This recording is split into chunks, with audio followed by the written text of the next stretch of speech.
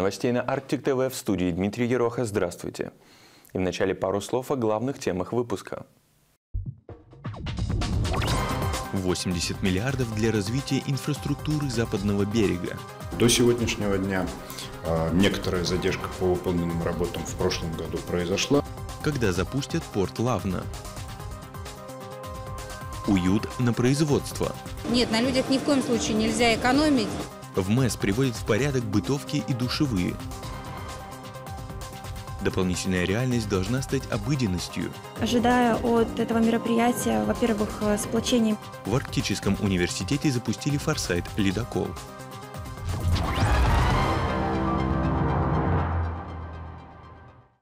Возведение порта Лавна планируют завершить к 2023 году. Площадку строительства комплекса с борта вертолета осмотрели губернатор Мурманской области Андрей Чибис и генеральный директор государственной транспортной лизинговой компании Евгений Дитрих. Вокруг Лавны каких только разговоров не было, мол, строительство комплекса перегрузки угля на западной стороне залива нерентабельно. Цены на этот вид топлива упали, а с ними и финансирование. Глава региона такую информацию опровергает. Мы э, все вместе очень активно взаимодействуем, бьемся за то, чтобы было необходимое финансирование. И э, все делаем для того, чтобы строительные работы активно двигались. Евгению Ивановичу огромная благодарность за то, что он этот проект поддерживал, двигал э, и двигает очень активно. Для нас это один из стратегических приоритетов, это использование потенциала незамерзающего порта на севере Российской Федерации, конечно, с учетом развития Севморпути, открывает большие перспективы. Главной задачей сейчас, чтобы была достроена железная дорога, по оценкам экспертов, готовность земляного полотна для железнодорожной инфраструктуры составляет 96%. Общая готовность проекта 56%. Задержка в строительстве есть, но небольшая. Открыть объект планируют через два года, в 2023. До сегодняшнего дня э, некоторая задержка по выполненным работам в прошлом году произошла, но сейчас проект заново сложен. По проекту пересчитана экономика, она абсолютно понятная, позитивная. А, существует договоренность с банком о финансировании коммерческой части этого проекта а, в объеме до 80 миллиардов рублей. По словам Евгения Дитриха, если первоначально порт Лавна задумывался как угольный терминал, то сегодня в дополнение к основному профильному грузу компания рассматривает возможность перевалки через него генеральных грузов в контейнерах. В Мурманске задержана банда мошенников, которая устраивала несуществующие аварии. Основными героями этой криминальной истории стали трое молодых людей, которые в течение нескольких лет промышляли автоподставами. Автострахование уже давно стало лидером сферы страховых мошенничеств. Ради получения материальной выгоды злоумышленники придумывают все более изощренные схемы обмана. Популярностью среди них пользуется инсценировка ДТП. Исключением не стали и мурманские нарушители закона. Для совершения указанных преступлений а, участники организованной группы приобретали дорогостоящие автомобили немецких марок, которые с целью конспирации а, регистрировались на их родственников после чего указанные автомобили, э, с указанными автомобилями имитировались страховые случаи э, с целью обращения в страховые компании для получения страховых выплат. За помощью к полиции обратились представители страховых компаний, когда заметили явные признаки мошеннических действий. В ходе расследования были установлены личности, входящие в преступную группировку, и благодаря сотрудникам Росгвардии нарушители были задержаны. Руки! Руки! Теперь любителям легких денег придется несладко. Возбуждены уголовные дела, мошенникам грозит наказание вплоть до 10 лет лишения свободы. Также законодательством предусмотрено возмещение причиненного ущерба, общая сумма которого превышает 5 миллионов рублей. Новый бюст герою Советского Союза, участнику Великой Отечественной войны Николаю Кононову хотят установить в Мурманске.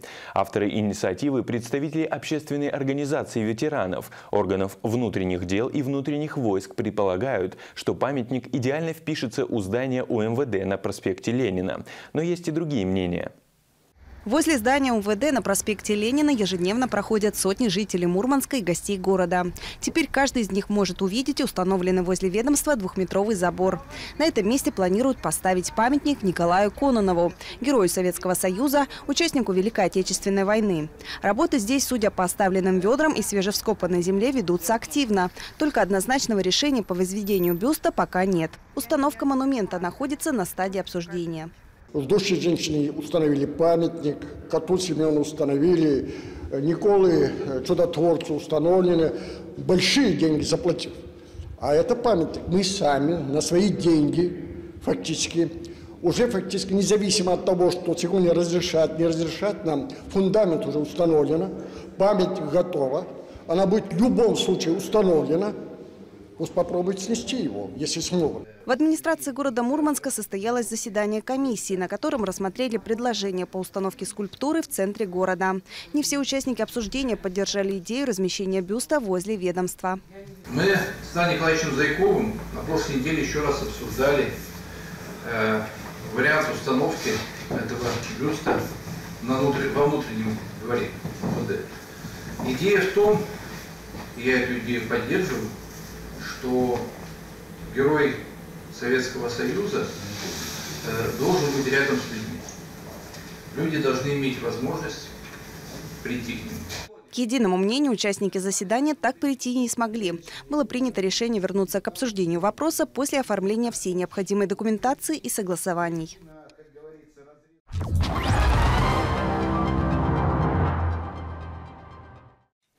Интерфакс сообщает о том, что первомайского шествия в Мурманске из-за угрозы распространения коронавируса не будет.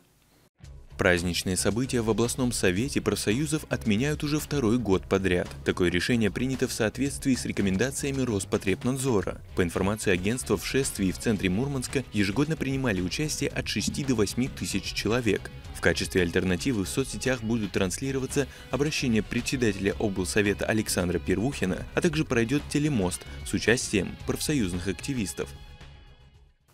21 новый случай заболевания COVID-19 выявлен в Мурманской области за сутки. Два человека умерли от осложнений, вызванных коронавирусом. Больше всего заболевших в Мурманске плюс 15, Североморске плюс 2 и Кольском районе плюс 2. Приблизительная дата достижения коллективного иммунитета коронавирусной инфекции в России – сентябрь 2021 года. Об этом заявила вице-премьер Татьяна Голикова на заседании Совета законодателей при Федеральном собрании, сообщает информационное агентство ТАСС. Ранее Голикова обозначила примерным сроком достижения коллективного иммунитета август 2021 года, отметив, что в случае роста темпов вакцинации этот срок может быть сдвинут на более ранний период. В настоящее время в России вакцинировалось обоими компонентами вакцины более 7 миллионов человек – переболело коронавирусной инфекцией почти 5 миллионов россиян. Для достижения коллективного иммунитета, по ее оценкам, необходимо провакцинировать 60% населения, то есть почти 69 миллионов человек. Дан старт ежегодной акции «Георгиевская ленточка». Она приурочена к празднованию Дня Победы. Георгиевскую ленточку принято считать символом военной славы нашего народа, и она, как многие думают, не претендует на звание символа победы в Великой Отечественной войне, которая неукоснительно остается за знаменем победы. Десятки волонтеров уже начали распространять ленточки. Активисты одновременно рассказывают жителям о правилах ношения. В Мурманске ее можно получить 2 и 8 мая на площади 5 углов. События прошлого существуют не только на страницах документов. Прежде всего, они живут в памяти людей. Когда дети интересуются историей родного края, то можно не беспокоиться о том, что подвиги предков будут забыты. В областной детской юношеской библиотеке юноармейцам рассказали о подвиге полярной дивизии. Юнармейцев из пятой гимназии Мурманска пригласили на своеобразный урок мужества, состоявшийся в исторической гостиной областной детской библиотеки. По количеству сброшенных на наш город бомб город уступает только Сталинграду. Волгограду нынешнему. Вот такая печальная статистика. Историческая гостиная – это увлекательная беседа о различных событиях и людях нашего края. В этот раз ребятам рассказывали о героях полярной дивизии. Юнормейцы – частые гости различных выставок и экскурсий. Чаще всего какие-то мероприятия вот, в библиотеках разных, в музеях нам экскурсии проводят. А, ну, также строевая подготовка. Помимо небольшой лекции и фильма, ребята могли ознакомиться и с книгами про войну в Заполярье. Мы живем в самом молодом, самом северном городе Герой Мурманске. И надо действительно, чтобы каждый житель города Мурманска знал историю своего края и, в частности, понимал, кому мы обязаны мирными днями, имею в виду воинов полярной дивизии. Такие занятия обычно заканчиваются обсуждением, во время которого дети могут задать вопросы гостю. Звучали они и в этот раз. Собирая историю семьи по крупицам, в Полярный приехали внуки военного пожарного, погибшего во время боев в Великой Отечественной войне. Только сейчас, благодаря доступу к архивам, у потомков ветерана появилась возможность больше узнать о жизни и службе своего героя. Жизнь Ивана Ефимовича Иванова складывалась по счастливой прямой. Он родился в небогатой крестьянской семье, но повзрослев и покинув отчий дом, стал продвигаться по карьерной лестнице от простого рабочего на лесозаводе до начальника городской пожарной команды. За это время Иван Ефимович женился и обзавелся тремя детьми, а потом нагрянула война. Навыки пожарного специалиста были на фронте весьма кстати. Кто-то подводник, кто-то матрос, кто-то морской пехотинец, но вспомогательных служб было очень много, а тут готовый специалист, то есть его не нужно обучать, он пожарный. В 1942 году Иван попадает на службу в Полярный, где его определяют в первую пожарную команду тыла Северного флота. Сюда, в город воинской славы, спустя почти 8 десятков лет и приехали внуки военного пожарного с целью восстановить боевой путь героического предка и своими глазами посмотреть на места, где служил их дед. Поэтому мы по крупицам собираем и всю ту информацию, которую нам удается найти, ну вот так вот ее она складывается какие-то жизненные моменты, ну, то есть в историю в какую. В память о службе в Полярном в семье бережно хранится часть ленточки с бескозырки деда с надписью «Береговая оборона Северного флота». Многие факты становятся известны только сейчас, когда гриф секретности с документов снимается и появляется свободный доступ к электронным ресурсам, поясняют внуки карельского пожарного. В Полярном началась служба, вот это как бы только недавно узнали, буквально, ну, год, может быть. В 43-м, после переформирований и доукомплектований, военный пожарный был направлен в 473-й стрелковый полк дивизии на должность стрелка. Боевой путь дивизии начался в Смоленском направлении. Затем сражались на Псковщине и в Белоруссии, освобождали Латвию, Литву, громили фашистов в Восточной Пруссии и встретили победу северо-восточнее Кёнигсберга. Есть в семье Ивановых продолжатели пожарной династии. Еще один внук пошел по стопам героя войны. Настрой Второй двоюродный брат работает в пожарной части э, города Сестрой. Архив Министерства обороны имеет в своих фондах два документа, в которых указаны разные даты и места гибели бойца Иванова Ивана Ефимовича. Но после переноса останков воинских захоронений покой герой семьи Ивановых обрел в братской могиле в селе Алексина, на которой установлен монумент павшим защитникам Отечества.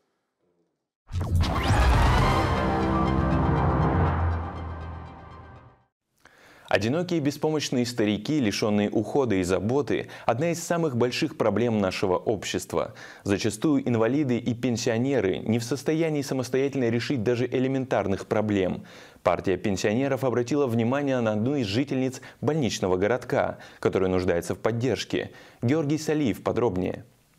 Дом номер 4 на улице Чехова на фоне соседей выглядит крепышом, но так только кажется. Его жители также ждут расселения. Анна Ноженкова – одна из местных. Здесь она давно. Родила на Крайнем Севере двоих детей. Тяжело работала всю жизнь. А с 2016 года стала инвалидом. Так как у меня нема полного стажа, угу. я с 50 лет вышла на пенсию. Угу. И работала дворником, то денежки там угу.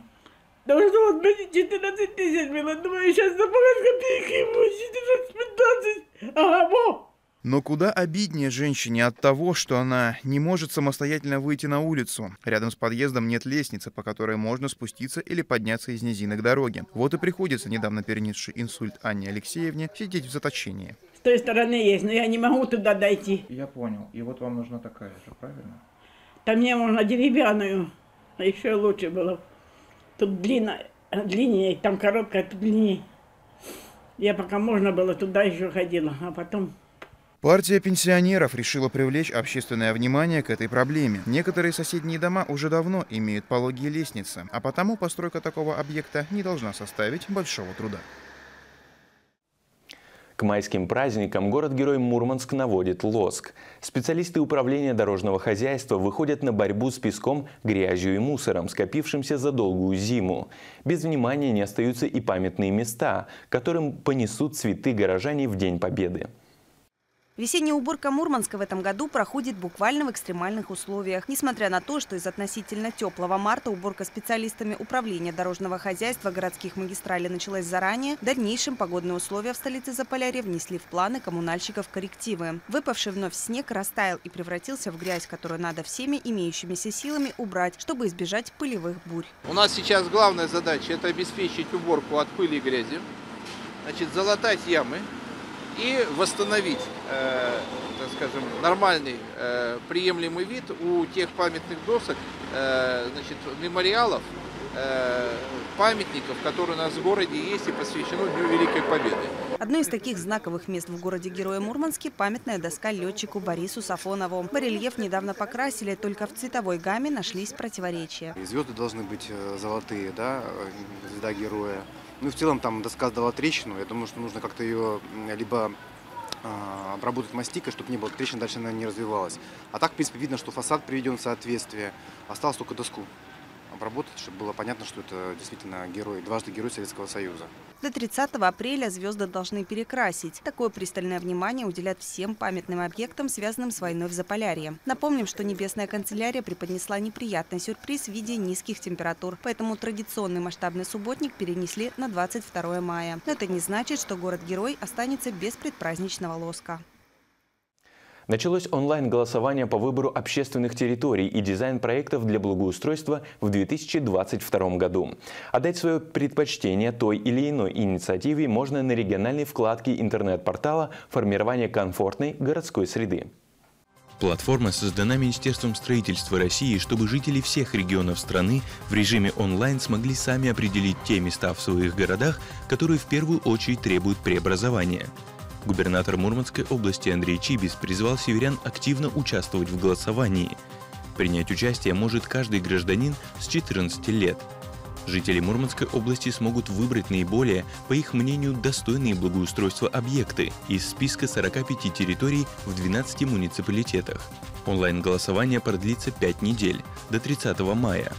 Информационную и организационную помощь северянам в участии в голосовании окажут около 200 волонтеров – которые будут работать в МФЦ, торговых центрах, объектах культуры и других общественных местах. Жить в столице Заполярья станет модно и престижно. Мурманск обретет лицо, подчеркнув главные достоинства.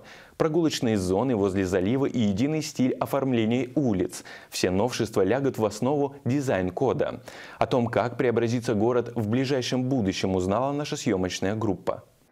Трудно представить лучшее место для презентации уникального дизайн-кода столицы Заполярья, чем ледокол «Ленин». Первые результаты проекта, созданного студией Артемия Лебедева, озвучены именно здесь. По словам дизайнера, сейчас Мурманск приспособлен больше для передвижения на автомобилях, хотя изначально город должен быть ориентирован на людей. Здесь поле не валялся, здесь вообще ничего не сделано. Здесь это идеальный случай, потому что можно начать стоять, и что мы не сделали, мы не сможем испортить. По словам основателя студии, у города есть характер и специфика. Горожане должны помимо работы иметь и другие активности. Например, Лебедев предложил построить веранды, которые смогут работать в течение всего года, то есть даже в сильные морозы. Дизайн-код предполагает выработку общего стиля в оформлении городского пространства. Правила касаются размещения рекламных баннеров, вывесок магазинов, которые крепят на исторические фасады зданий и других построек. Такой эклектики, как сейчас, быть не должно. Наша цель и задача сделать город Мурманск самым модным северным Вот я бы прям вот, пусть это некое обострение стоит, но самым модным северным городом. Почему? Потому что город будет жить, если сюда будет стремиться активный человек. Город будет жить, если сюда будет стремиться активная молодежь. Если будет круто приехать в город Мурманск, ну, как минимум его посетить, а как а самое лучшее остаться здесь, жить, работать, и развиваться. В прошлом году в Мурманске организовали несколько пунктов проката велосипедов. В этом году дополнительные точки с двухколесными средствами передвижения установят в Ленинском и Первомайском округах. Также пополнят коллекцию уличных средств передвижения 150 электросамокатов. На них можно будет съездить, к примеру, на смотровую площадку. Уже этим летом благоустроят 7 территорий с видом на залив. Один это Абрамыс, э, соответственно, один в центре города и остальные Э, по всему городу, собственно, по сопкам от Роста до Первомайки, ну, в том числе и гора Дураков, туда тоже попадает да, северный проезд. Планируется создать единую систему озеленения и подсветки. Изменится площадь 5 углов. На Зеленом мысе планируют создать парк Победы. Стоит отметить, что все преобразования согласуются с общественностью.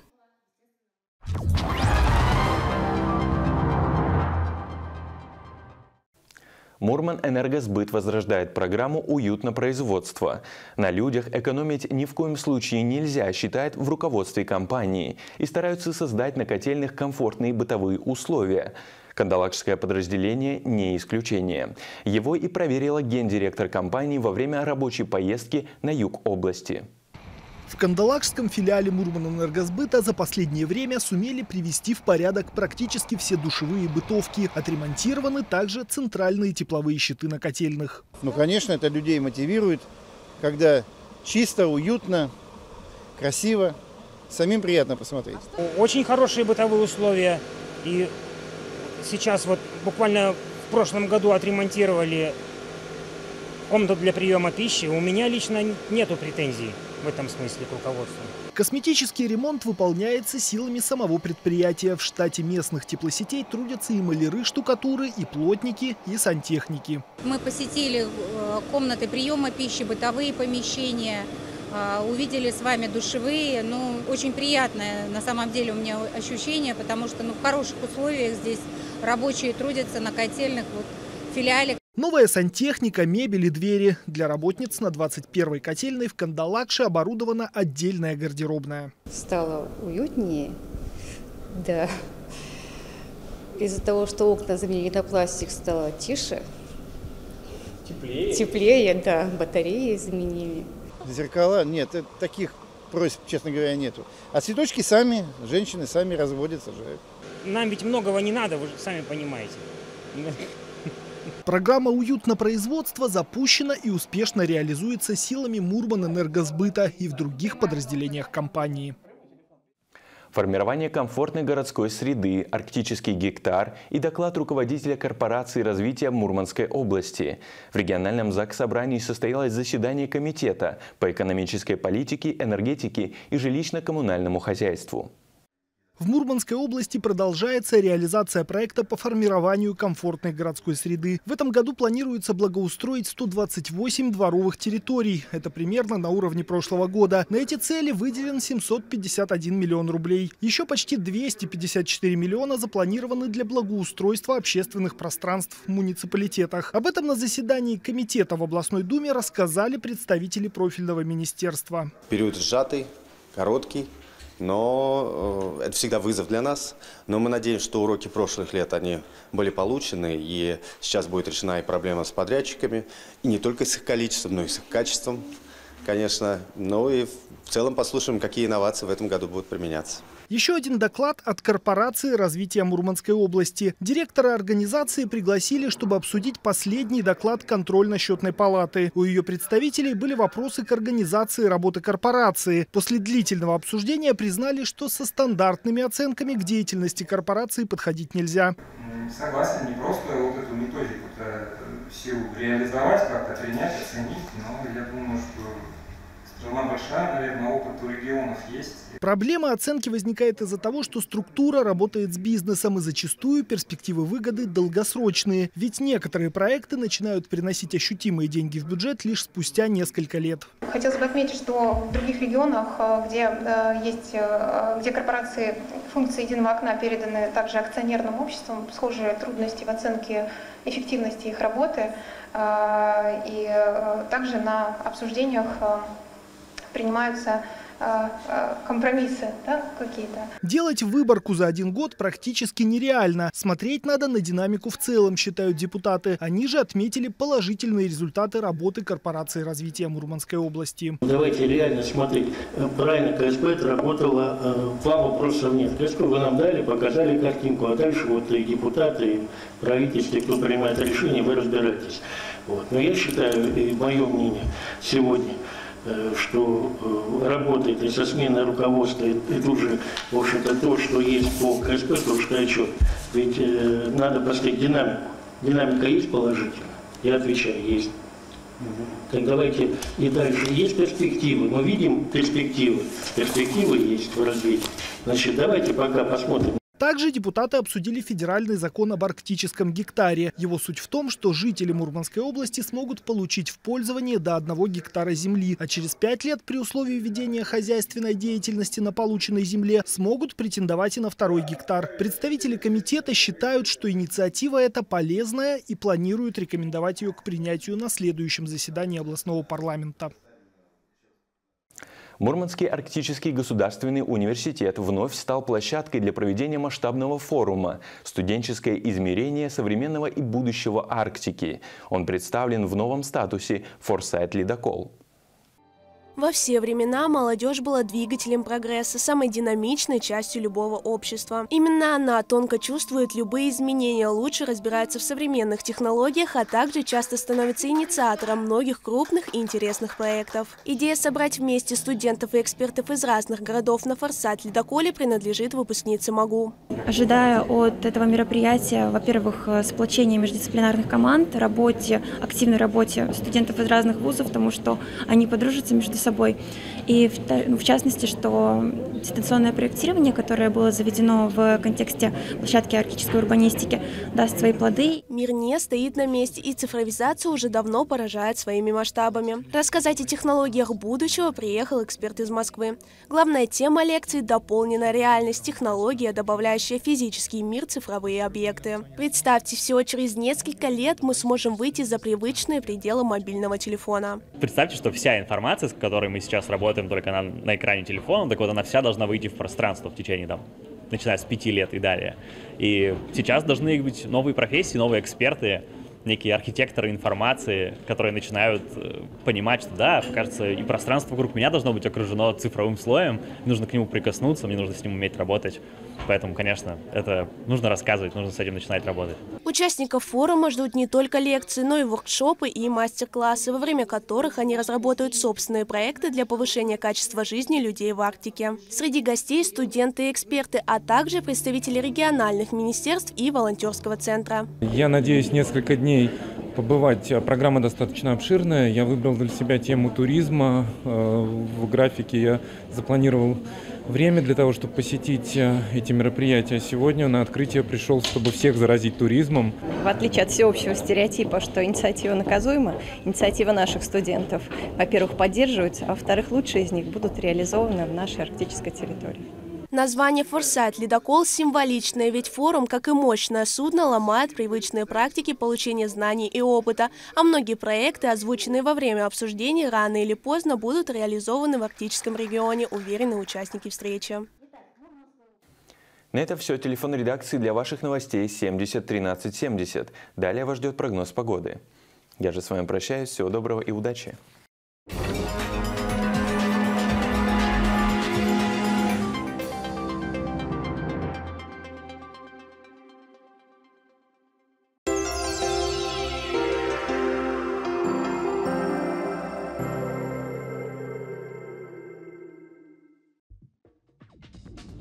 28 апреля ночью температура по области составит от минус 9 до минус 3 градусов. Днем в Мурманске и Североморске от минус 2 до минус 1. Ветер северный 4-5 метров в секунду. В Никеле Мончегорске от минус 3 до минус 1.